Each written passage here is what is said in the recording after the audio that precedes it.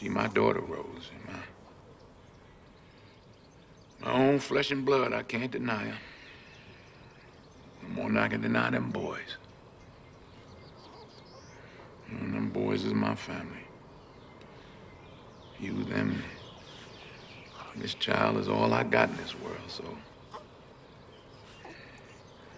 I guess what I'm saying is, is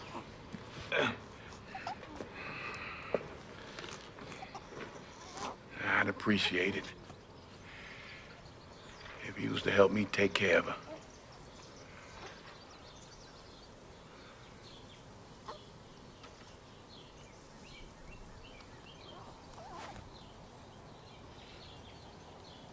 Okay, Troy.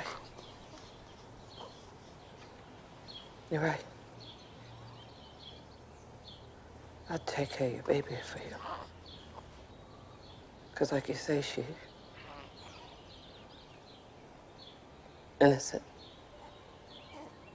You can't visit the sins of the father upon the child. Motherless child's got a hard time.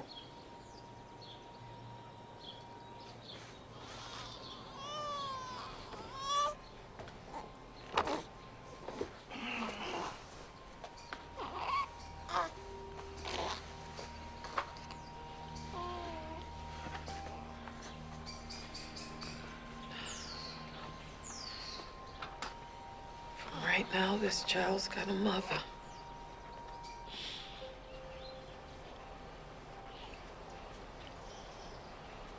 But you're a womanless man.